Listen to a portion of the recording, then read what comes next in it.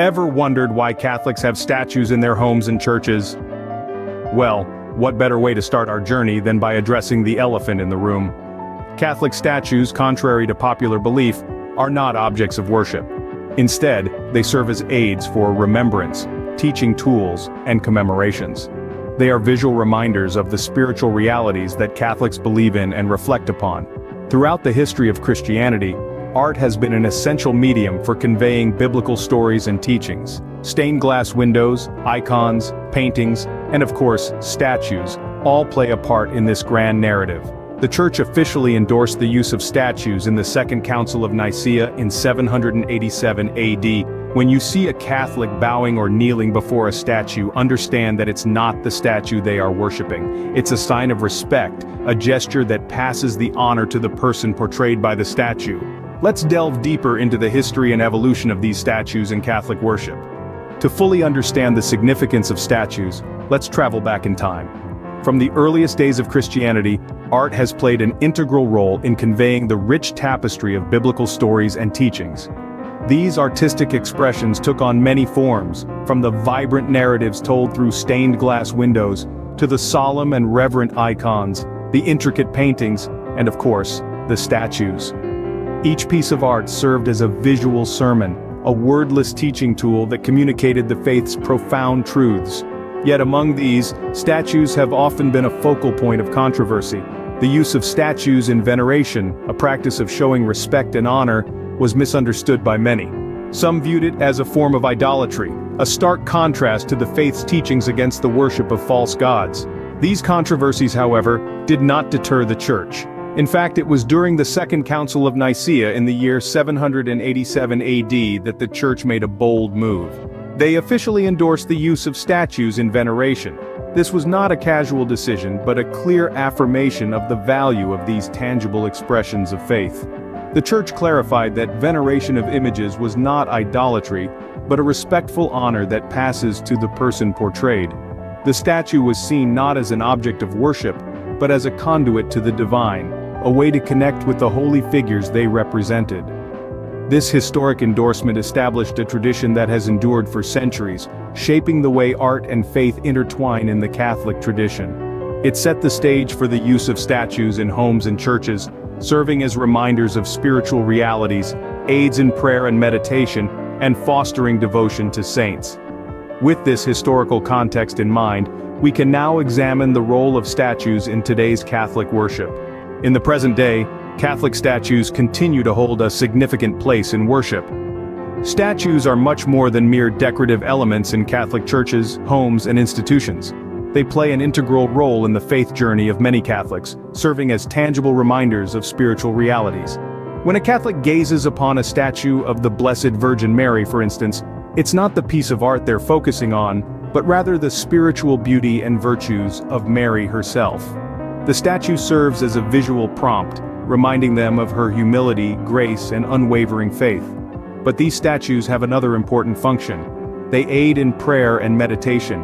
It's a common sight to see someone in a church, eyes closed, hands clasped, standing or kneeling before a statue.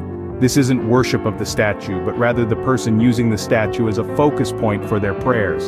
The statue helps them visualize the saint or figure they are praying to, making the experience more personal and intimate. Then there's the fostering of devotion to saints. Each statue in a church has a story to tell, a life to celebrate, and virtues to inspire. They represent men and women who lived their faith to the fullest, serving as role models for Catholics today. St. Francis of Assisi, for example, is often depicted with birds and animals representing his love for all God's creatures.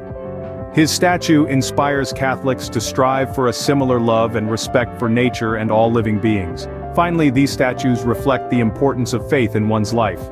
Just as family photos adorn the walls of a home, so too do religious statues have a place in Catholic households. They serve as daily reminders of one's faith, encouraging prayer, reflection, and a constant striving to live in accordance with the teachings of the Church. Now that we've looked at the role of statues in Catholic worship, let's address a common misconception, idolatry. A common question asked is, do Catholics worship statues? The answer is, a resounding no. Now let's delve a bit deeper into this topic. Firstly, it's crucial to distinguish between veneration and worship. These are two different concepts. Veneration, or honor, is the respect we give to those who reflect the divine, like saints. This is different from worship, which is the adoration and reverence given solely to God. Now you might be wondering, why do Catholics use statues in religious contexts? Statues serve as aids for remembrance, as teaching tools and as commemorations. Imagine walking into a grand cathedral and seeing a statue of St. Peter. That statue serves as a visual reminder of his life, his teachings, and his devotion to Christ. It's not an object of worship but a tool to aid in our understanding and remembrance. It's also important to mention that the Catholic Church's grouping of the Ten Commandments, which is different from some Protestant denominations, prohibits idolatry. The Church takes this commandment very seriously. The golden calf incident in the book of Exodus is a stark reminder of the consequences of idolatry.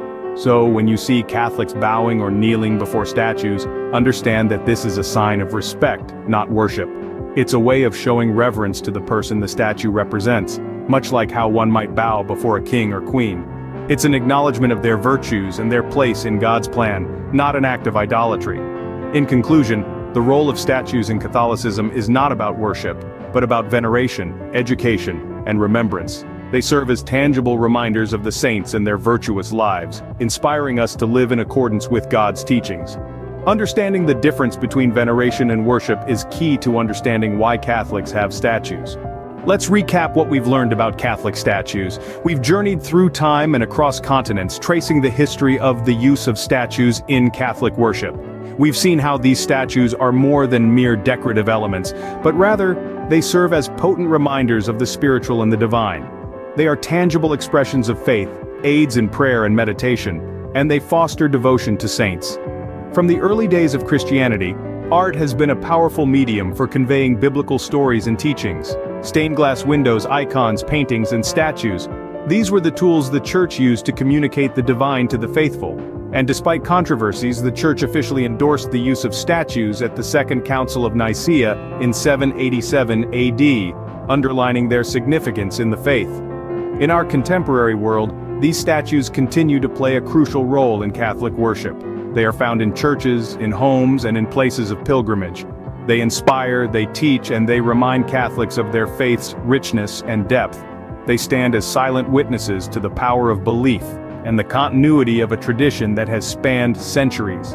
One of the most important points we've discussed is the distinction between veneration and worship. It's a crucial distinction that is often misunderstood.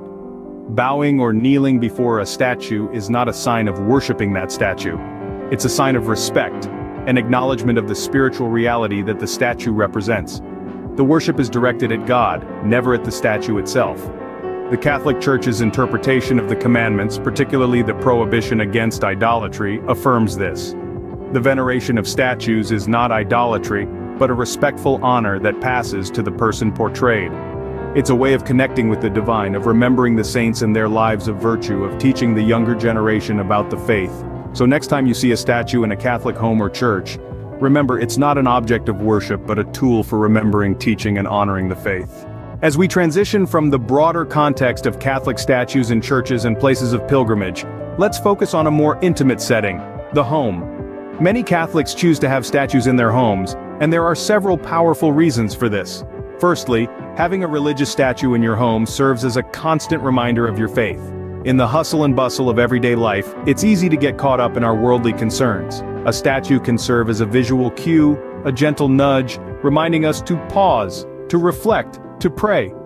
Secondly, these statues can help create a sacred space within the home. Just as churches have statues, so too can your home.